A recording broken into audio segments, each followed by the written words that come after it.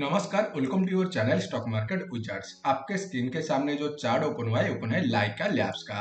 Time frame select हुआ है weekly stock का प्राइस ईयर 2020 में यहाँ पे देखिए बॉटम फॉर्मेशन क्या था।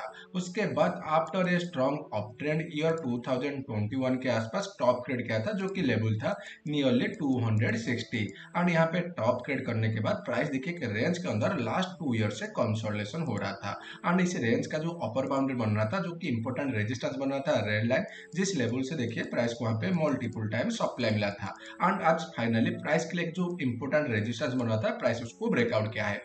एंड जिस टाइप का स्ट्रॉन्ग ब्रेकआउट आज यहाँ पे देखने को मिल रहा है प्रोबेबिलिटी हाई है कि आने वाले टाइम में स्टॉक का प्राइस लाइफ हाई को टेस्ट कर सकता है, जो कि लेवल बन रहा है 260 उसी केस में उसका जो प्रीवियस स्विंग लो यहाँ पे आप स्टॉप लॉस रख सकते हैं, नहीं तो आपका रिस्क के अनुसार आप मॉडिफाई कर सकते हैं। तो बिलो वन वन सेवन के आसपास स्टॉप लॉस को प्लेस किया जा सकता है। अगर स्टॉक का प्राइस कुछ भी पुल बैक करके वन के आसपास आ जाएगा, ये लेवल रहेगा एक लो रिस्क जोन तो आपको वेट करना चाहिए। अगर वन के आसपास आएगा, यहाँ पे अपॉर्चुनिटी ले सकते हैं। And previous swing low one one seven के आसपास स्टॉप लॉस को प्लेस कर सकते हैं, नहीं तो आप मॉडिफाई कर सकते हैं। एंड जिस टाइप का यहाँ पे मेजर इंपोर्टेंट रेजिस्टेंस को ब्रेकआउट किया है नेक्स्ट टारगेट स्टॉक का प्राइस के लिए बन रहा है 260 260 को ब्रेकआउट करने के बाद जो सेकंड टारगेट बनेगा, इसलिए यूज़ करेंगे फिबोनाची एक्सटेंशन को, क्योंकि लाइफ हाई के ऊपर कोई भी सप्लाई डिमांड लेवल अवेलेबल नहीं होता है, वहाँ पे टारगेट मेजर करने के लिए हम यूज़ करते हैं फिबोनाची एक्सटेंशन यहाँ पे जो सेकंड टारगेट बनेगा 1.600 का फिबोनाची एक्सटेंशन लेवल